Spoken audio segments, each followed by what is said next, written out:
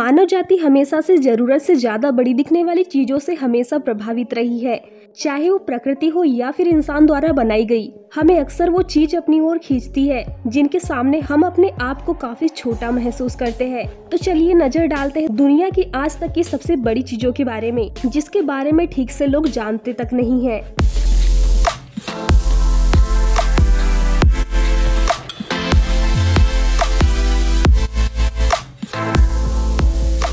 The world is largest bicycle दुनिया की सबसे बड़ी motorcycle Regio design X X L chopper आज तक बनाई गई दुनिया की सबसे बड़ी मोटरसाइकिल है। ये किसी भी मोटरसाइकिल की तरह ही चलती है, जो सच में मोटरसाइकिल ही है। ये करीब 32 फीट लंबी है और करीब 15.5 फीट ऊँची है, जिसमें 5000 CC 5.7 litre V8 Chevrolet 280 HP का इंजन लगा हुआ है। इस शानदार जायंट जैसी दिखने वाली मोटरसाइकिल को फेवियोस डिज़ाइन टीम के 25 लोगों ने मिलकर डिज़ाइन किया था, जिसमें उन्हें सात महीने का समय लगा, जिसमें उन्होंने बड़े ट्रैक्टर में लगने वाले पहियों का यूज़ किया था। इसकी टॉप बात यह है कि इसकी स्पीड 105 किलोमीटर प्रति घंटा तक जा सकती है। बट फ्रेंड्स ऐसा लगता नहीं है कि इसे कोई इतनी तेज भगाने की हिम्मत भी करेगा।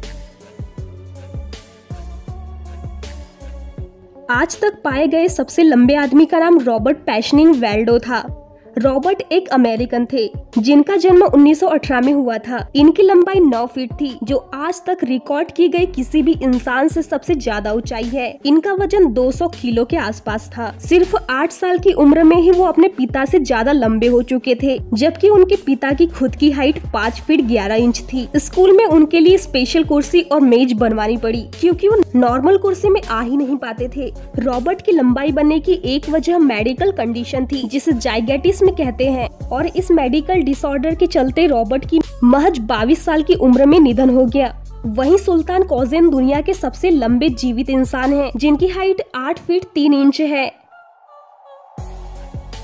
दोस्तों इस तस्वीर को देखने पर ऐसा लगता है कि जैसे ये किसी समुद्र का किनारा है या फिर कोई नदी है। पर असल में ये चिले देश में सेन रिजोर्ट में बना एक आउटडोर स्विमिंग पूल है। लेकिन इसकी साइज़ के बारे में जब जाना गया तो इसने सबके होश उड़ा दिए। ये स्विमिंग पूल 20 एकड़ में फैला हुआ है और इसकी लंबाई 3,324 फीट की है। वहीं दुनिया का दूसरे नंबर का स्विमिंग पूल जो मॉरस्को में है जिसकी लंबाई सिर्फ़ चार है। इसकी सबसे गहरी जगह 115 फीट है, जो खुद ही एक वर्ल्ड रिकॉर्ड है। इस पुल में 66 मिलियन गैलन पानी समा सकता है और इसको बनाने में एक बिलियन का खर्चा आया। यानी इंडियन करेंसी में छह करोड़ रुपए इसको बनाने में पाँच साल का समय लगा था और इसको हर साल मेंटेन रखने के लिए दो मिलियन डॉलर तक आता है।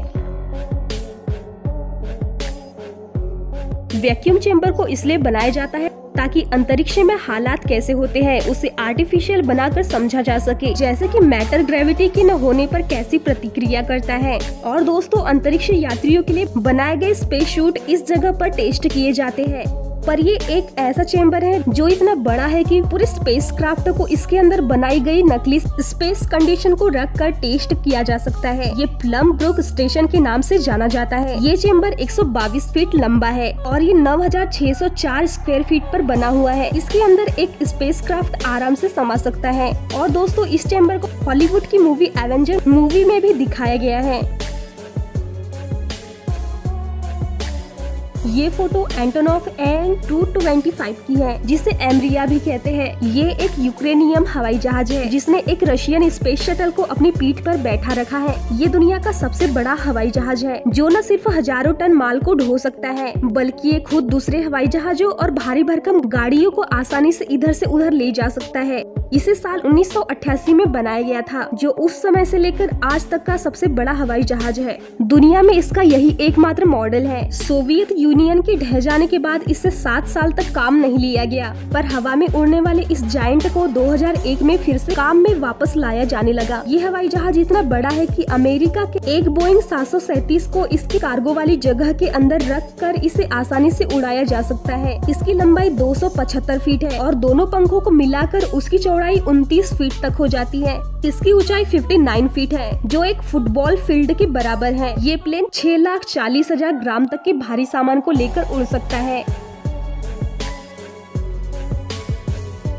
गिनीज बुक ऑफ़ रिकॉर्ड ने ट्रक बेलाज 75710 को दुनिया का सबसे बड़ा डबल एक्सल डंपर ट्रक के रूप में दर्ज किया है। ये साढ़े चार सौ मीट्रिक टन से ज़्यादा सामान ट्रांसपोर्ट करने की कैपेबिलिटी रखता है। दोस्तों, बता दो कि ये पूरी तरह से ईंधन और सात loaded Airbus A three twenty से 200 विमानों के बराबर है और ट्रक सीमेंट से 1200 किलोवाट की चार इलेक्ट्रिक मोटरों द्वारा संचालित की जाती है। इस प्रोसेस में 16 सिलेंडर वाले दो डीजल इंजन का यूज़ किया जाता है, जिसमें से प्रत्येक लगभग 1700 किलोवाट के उत्पादन के साथ होता है। साथ में ये ऊर्जा भी देता है, जो इन बड़े टायरों को आगे बढ़ने के लिए इलेक्ट्रिसिटी ड्राइव प्रदान करता है। इसका टेस्ट बेलारूस में 22 जनवरी 2014 को किया गया था। दुनिया की सबसे ऊँची इमारत दुबई की बुर्ज खलीफा को कोई ऐसा नहीं होगा जो नहीं जानता होगा, जिसकी ऊंचाई 2732 फीट है और 33 लाख स्क्वायर फीट का एरिया कवर अप करती है। इस अति विशाल इमारत का निर्माण 2004 में शुरू हुआ था और इस बिल्डिंग को सबके लिए ऑफिशियली 2010 में खोल दिया गया था। इस बिल्डिंग में सत्तावन लिफ्ट है और इसमें एक मंजिले हैं। और दोस्तों, इस बिल्डिंग को बनाने में 1.5 बिलियन का खर्चा आया था। यानी लगभग ढाई करोड़ रुपए इसके बाद सबसे बड़ी बिल्डिंग वॉल्यूम या क्षेत्रफल के रूप में देखी जाए तो वो है बिल्डिंग एवरवेल फैक्ट्री जो वॉशिंगटन में है। ये जगह एक करोड़ तैतीस लाख स्क्वायर फीट में बनी हुई है। दोस्तों, दुनिया की सबसे बड़ी चलती फिरती मशीन का नाम है बैगर 293 ये बकेट वेल एक्सवेटर है, जो ज़मीन में खुदाई करने के लिए इस्तेमाल की जाती है। इसे उन्नीस सौ पंचानबे में जर्मन में बनाया गया था।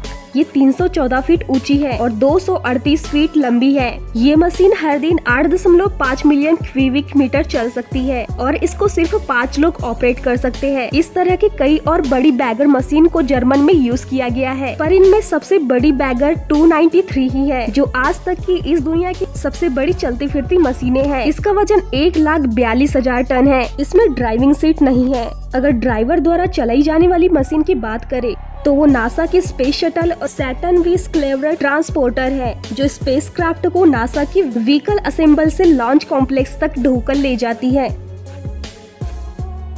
दुनिया का सबसे बड़ा जंगल अमेजोन रेन फॉरेस्ट करीब चौवन लाख अड़तीस हज़ार नौ सौ पचहत्तर स्क्वायर किलोमीटर के एरिया में फैला हुआ है, जो नौ देशों के हिस्से को कवर करता है।